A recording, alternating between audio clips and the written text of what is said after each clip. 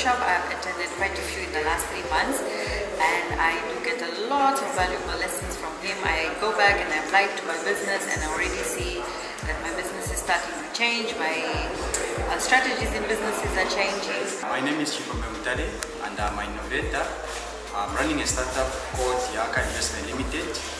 Uh, in this session today, I learned about uh, time management and also prioritizing what's important. Hi, my name is Gillian. I'm here for the uh, work, uh, workshop with Aaron. Um, I'm self-employed. I've been self-employed for many, many years. Um, after uh, many years of being a mother, I decided to, to go back into business. My name is Boyd Musunga, popularly known as General.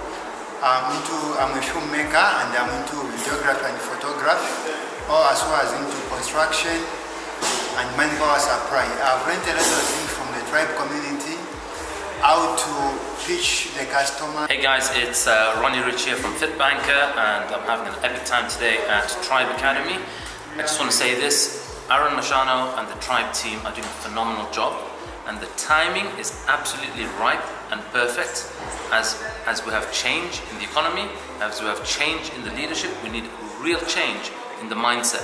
We need to have people that are empowering everyone to get us from a poverty mindset to an absolutely wealthy mindset. So I made a decision to check my habits and how I can improve my habits in order to improve the things I'm running. Thank you.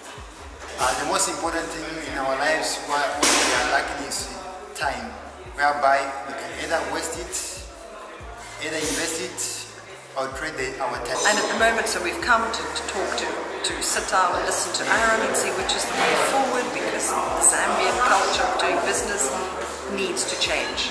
Uh, I recommend everyone to at least attend one workshop and then see where it takes you from there. Aaron is bringing proven systems, tried and tested, that I'm familiar with, that I apply, that I've used in my business, that I've caused great business success with in my own world, in my background, in my personal development training. And Aaron has that blueprint. And Aaron is bringing this, and the Tribe Academy are bringing this to the people of Zambia. This is an opportunity not to miss. This is not something you need, this is something that you deserve. This is something your business deserves and the people you serve deserve.